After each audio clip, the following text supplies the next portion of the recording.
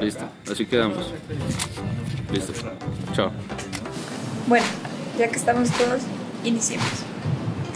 Yo propongo que solo utilicemos un personaje. Yo propongo que la locación sea en un desierto y que el personaje esté allí. Yo propongo que el personaje debería llevar un taurek y un beduino.